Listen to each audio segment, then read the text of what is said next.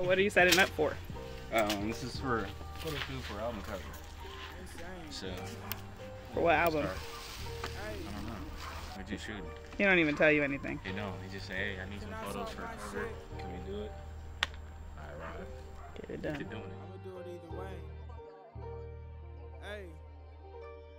It's hard to win when you playing against yourself.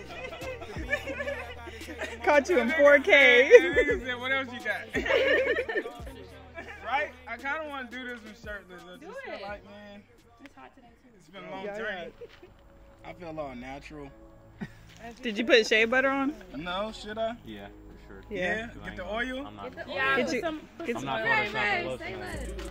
This is gonna be the most iconic album cover. What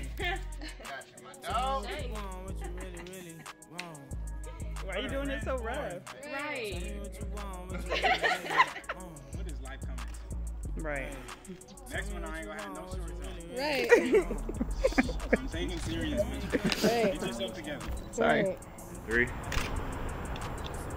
dog. One, two, and three. Hey, You the last one I was only wasting time.